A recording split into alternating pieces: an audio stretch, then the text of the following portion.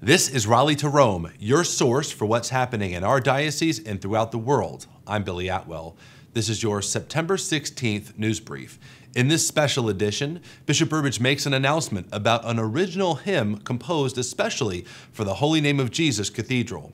Hear the announcement and listen as the diocesan choir performs it for the very first time from a special location. Enjoy. Brothers and sisters in Christ, I have some exciting news to share with you. A while ago, I commissioned our cathedral and diocesan director of sacred music, Michael Accurso, to compose a hymn that will be used at the dedication of Holy Name of Jesus Cathedral on July the 26th, 2017. The name of the hymn is I Will Praise Your Name Forever. We will send the hymn, the music, to our parishes and our campuses and schools for all of us to begin to learn in preparation of this historic and joyful day in the life of the diocese. I'm so proud to introduce it to you today, and I hope you enjoy listening to it.